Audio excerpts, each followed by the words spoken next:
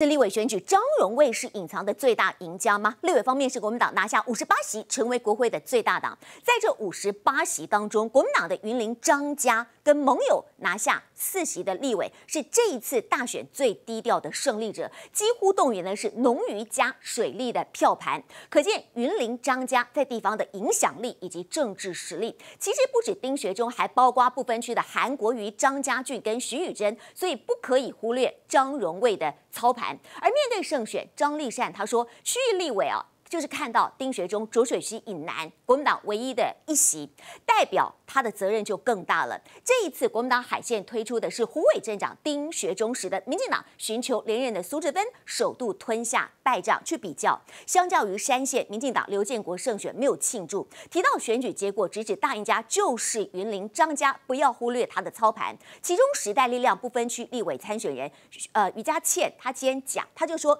民有党不分区立委提名的名单。排名第十一名的，其中他我们看到蔡永德，他是无党籍云林县的副议长，他有赌博、伤害罪等前科，疑似涉嫌职棒的牵赌。蔡春愁跟地方黑金的关系密切，恐怕沦为黑道代理人。而外界戏称云林张家就像是国会的第四大党。第一位贵宾，谢谢。现在我们。立法院长韩国瑜和国民党主席朱立伦把手握得紧紧的，展现国民党的党中央和立院党团团结一致的氛围。加强国会监督的功能，国会的改革方案，我们也要拜托呃院长领导之下，未来。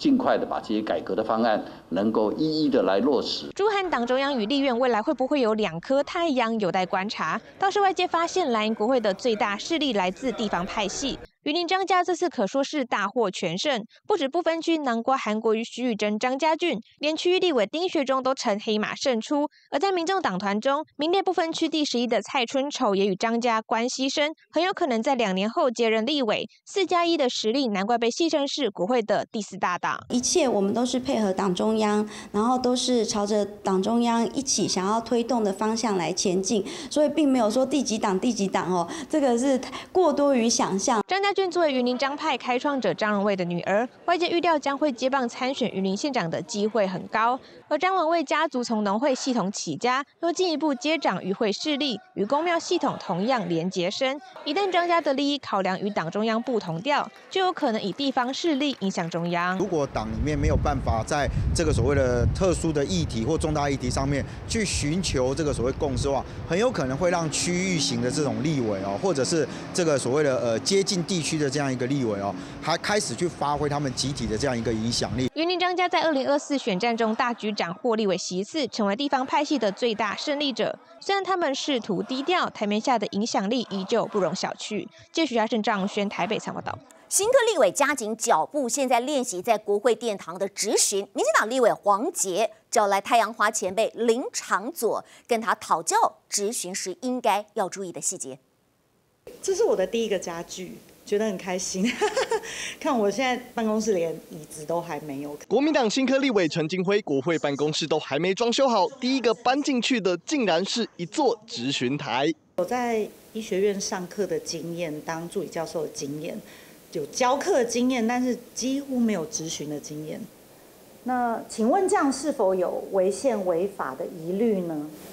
这个应该我们会持续来研究跟讨论这个。模拟咨询比手画脚，坚定眼神却带着温柔神色。要怎么喊得有魄力、有气势？陈金辉找来幕僚，即席一问一答，模拟咨询。所以我非常感谢我的一群匿名好朋友们，集资，我不知道他们如何做到的。加紧脚步为开艺准备练习的还有他。赶快，新专辑的进度在哪里？在哪里？嗯，委员，其实这个进度都有在我们的掌握之中。这届立院最年轻的立委黄杰要如何快速上手？当然要请教有经验的林长佐讨教讨教。模仿在立院的咨询状况，也算是太阳花世代的传承。那我也有跟一些学长姐先请益了，就包括已经毕业的林长佐委员，那他也有给我一些立法院的呃前辈的指教。新科立委力求好表现，给选民看到，一举一动自然也被放大检视。一早现身立院办公室，新科立委廖先祥搭的是时下新潮百万电动车现身，身价不凡，自然引来讨论。电动车也蛮节能减碳的嘛，那我想，呃，民众应该不会太在意说他搭什么交通工具，只要说他勤劳努力打拼。同党立委赶紧缓颊，不过据了解，确实也有新科立委担心搭豪华轿车出入立院会留下不同观感，因此在上任前默默另购平价房车代步。只能说，如何给大家留下好印象，成了新国会立委的首要考验。记者曹廷涵、李洛彤、姚嘉定采访报道。